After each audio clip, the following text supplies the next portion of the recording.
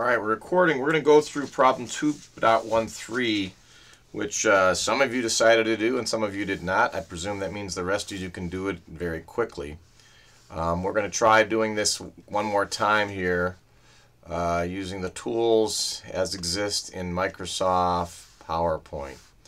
And I'm going to point out the problem as is shown 2.13 is probably one of those that like many, are, are most easily solved literally by um, algebra and by some logic. And what I want to go through this one for is I really want to point out how important it is to really think about anytime you have concurrent forces, to always think about them as tension, pulling away. In other words, don't lose sense of the, the uh, direction. So I'm going to point out at that point that is the top of the tower, there is a force going this way that has a given direction, a force that's going this way that has a given direction, and a force that's going this way that has a given direction.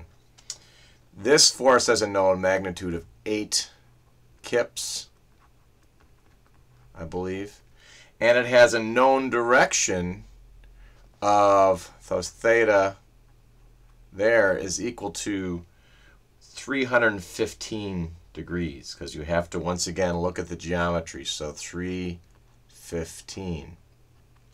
Now these two forces, tension 1 equals tension 2, and that becomes the key to this problem.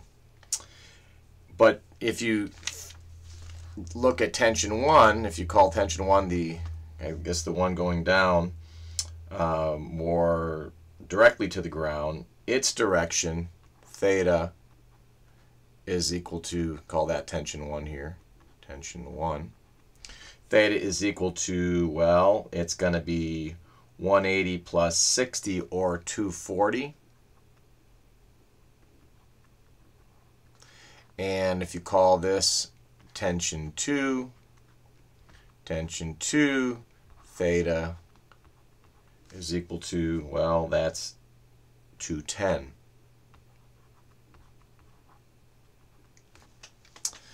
And then you just write out, knowing the sum of the forces in the x equals 0, you can know that that's true because of the sum of the forces in the x at some concurrent point is equal to 0. That concurrent point being the top of the tower.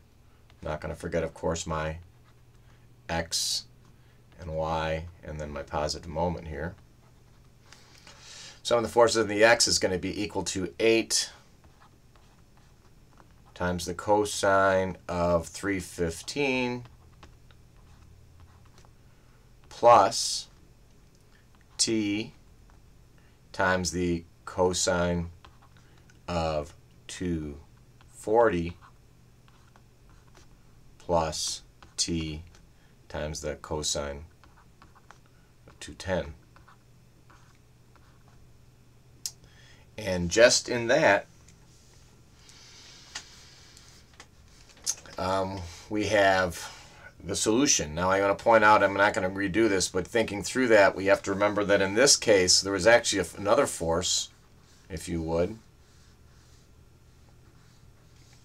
If we're thinking of it this way, trying to find this there's another force here going up, the force in the pole.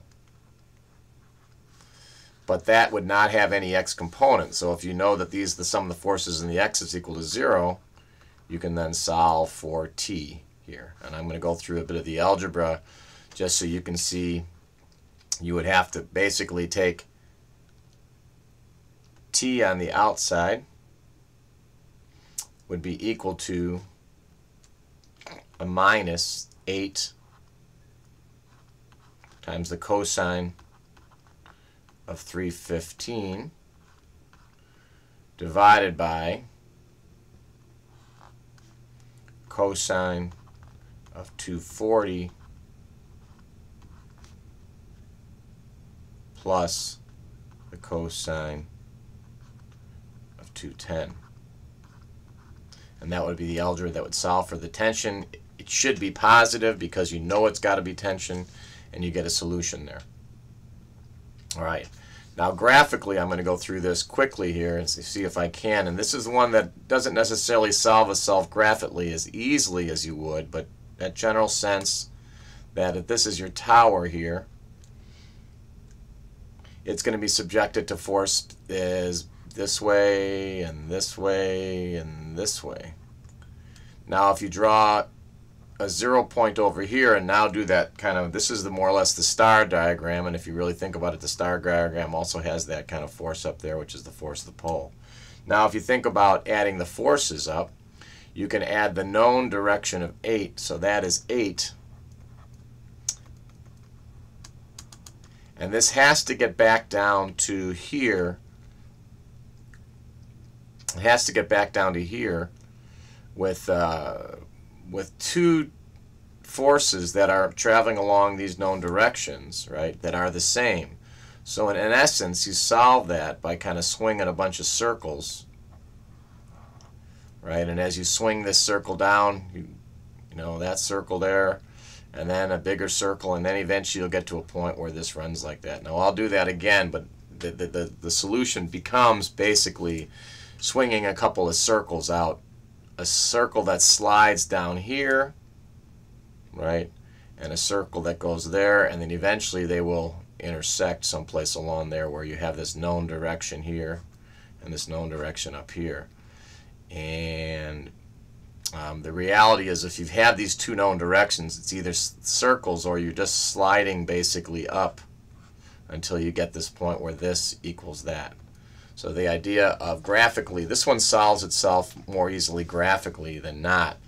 Uh, and I'll go ahead and punch this and hope it's okay. I got my calculator out here. I hope you can do calculator punches, but the cosine of 315 should be a positive number, right? And times 8. And so that gives you a number in the top here of 5.66, if you would. So this is equal to minus, trying to get this thing to work here, equals minus 5.66 because the cosine is positive. Now this on the bottom is better turn out to be a a uh, negative number. So the cosine of 240 and the cosine of 210 are both going to be negative. So we're going to take 2 I'm hitting a clear button here, the cosine of 240, closing it up, plus the cosine of 210, closing it up. Gets you a minus 1.36.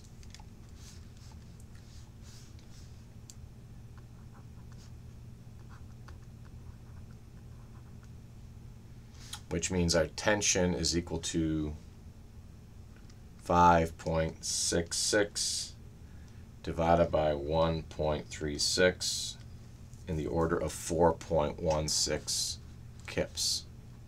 4.16 kips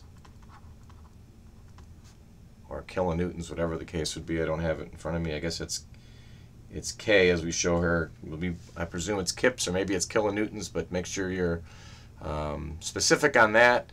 And it is in tension